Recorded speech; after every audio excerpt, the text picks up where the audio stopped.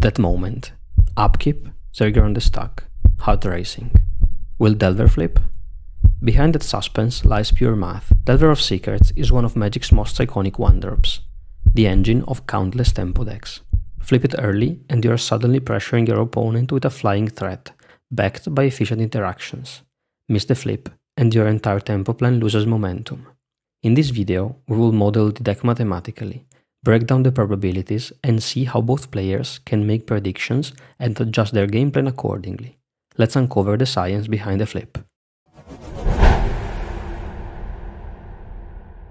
We begin with the theoretical setup and introduce our main character, Delver of Secrets.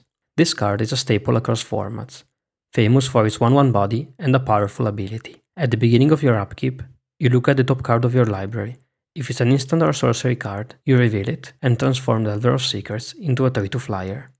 This defines an early game tempo plan, the ability to deploy pressure while keeping mana open for interaction.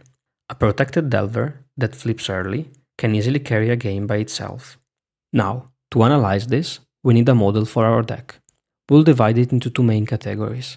Spells, capital S, instant and sorceries, with a slight abuse of definition, and non-spells, denoted by capital N, creatures, lands, and occasionally other permanent types. These are deck building constants, fixed by how the deck is constructed and not by in-game events. Next, we introduce a few variables that depends on the game state at a specific snapshot. We'll denote by D the total cards left in the library, by H the cards in hand, and by X the number of spells currently in hand. When I say snapshot, I mean a specific moment during the game, usually right after Delver's triggers goes on the stack. Don't worry about memorizing these letters, each section will include a legend in the top right corner to keep things clear. The most fundamental concept in Delver of Secrets analysis is the natural flip, checking the top unknown card of your library and transforming Delver if that card is a spell. This event is largely outside your control. Once Delver is in play, the only thing that determines your odds of flipping naturally is deck composition specifically the number of spells you've included. The math is simple. Using the classic probability formula, favorable outcomes divided by total outcomes, we get that the probability of a natural flip is the total spells in library not yet visible divided by the total cards in library. Here, visible spells are those already known to both players, either revealed or cards in public zones such as stack, graveyard or exile. To build the formula, we start from the total number of spells in the deck and subtract the visible ones, as well as the cards currently in hand, since those are no longer part of your library. In case of mulligans, the math doesn't change.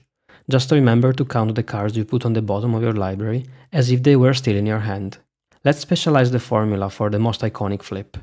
During the upkeep of turn 2, after having played Delver on turn 1, Delver triggers goes on the stack. If you're on the play, no spells have been cast yet, so visible spells is 0, and your library contains 53 cards. So, probability of a natural flip is s minus x divided by 53. If you're on the draw, your library now has 52 cards, giving the probability of a flip as s minus x divided by 52. A simple lookup table for s values between 30 and 34 and x between 0 and 5 shows your flipping probability across different builds. With a classic 32 spells deck and 2 3 spells in hand, the probability of a successful natural flip is roughly 55%. This gives a direct way to quantify your early game tempo potential, how often you can expect Delver to become a 32 flyer without help. So far, we've seen things from Delver player's point of view. But what if you are the opponent? Can you also estimate whether Delver will flip? The same general formula applies. Probability of flip is the number of spells remaining in the library divided by total cards remaining in the library. However, from the opponent's side, both S and X are known. While S can be estimated from common deck lists, for instance around 32 spells in a 60 card mono blue Delver deck, X is truly hidden information. According to probability theory, X follows a hypergeometric distribution, which models the chance of drawing a certain number of successes from a finite deck.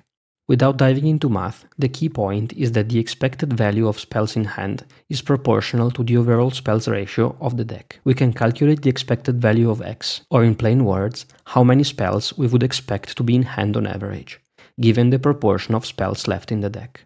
For every card in hand, the chance it's a spell matches the proportion of spells in the deck. If we plug this expected value back into the probability formula and simplify, something unexpected happens. The outcome is completely independent of h and x.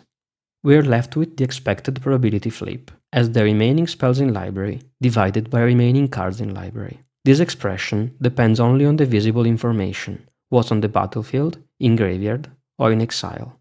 If we assume a 60 card deck with 32 spells, the opponent's practical vision of the formula becomes the following. Expected probability is 32 minus visible spells divided by 60 minus visible cards. This means that, even without knowing our exact hand, a careful opponent can make a statistically informed prediction about whether Delver is likely to flip next turn, just by tracking what has already been revealed. Let's apply the formula to real in-game scenarios.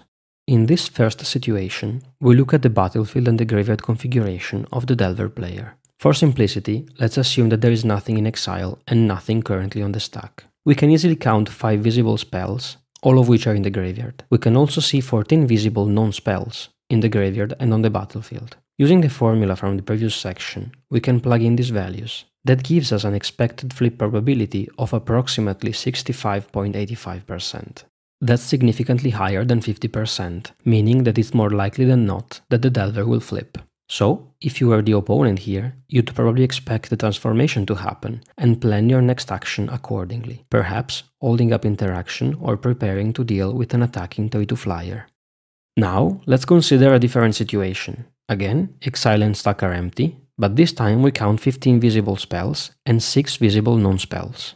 Plugging these into the formula gives an expected probability of flip of about 43.59%. This is slightly below 50%, meaning a flip is less likely to happen on the next upkeep. In this situation, as the opponent, we might make a decision based on Delver not transforming, for example, choosing to tap out or to play more aggressively.